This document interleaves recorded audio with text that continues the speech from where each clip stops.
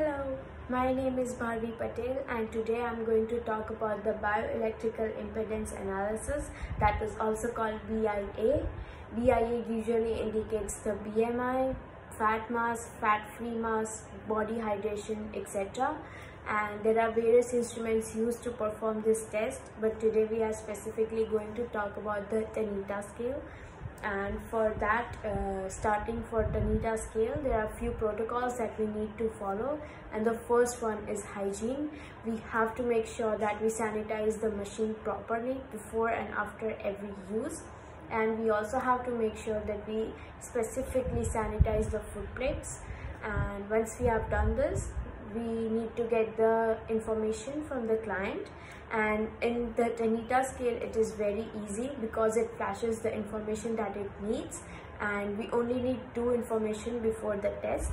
The first one is the weight of clothes and according to the Tanita protocol it is 2.0 pounds.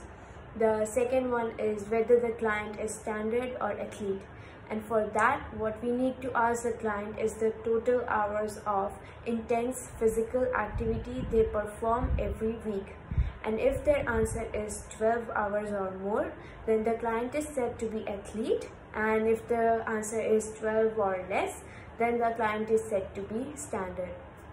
Once we have this information and our client we need to we need to ask the client to step on the Tanita scale relax breathe normally and look forward and let the machine print the receipt once we have our information receipt in our hand, we can ask the client to step off the machine and first thing we need to do is sanitize the machine again. And then in the receipt, we have three information. The BMI, that is body mass index and we need to explain the client that body mass index is the total weight of the client upon the height of client in meter square so the BMI's formula is weight in kilograms upon height in meter square. Once we have this, we need to explain the client that it is it, it indicates the body distribution and it does not indicate the fat or fat-free mass.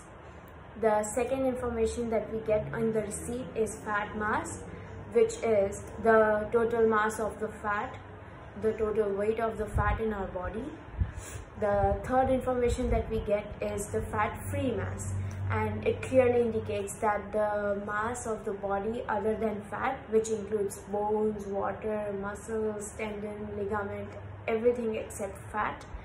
And hopefully the fat-free mass is higher than the fat mass. And what another information we get from the receipt is the total body water. And to get the hydration level what we need to do is we have to divide the total body water with the client's total body weight and multiply it by 100 and we'll get the hydration level. Now for a healthy person, the hydration levels are approximately 50 to 70 percentage and BMI is between 18.5 to 24.9 and that's about it. Thank you.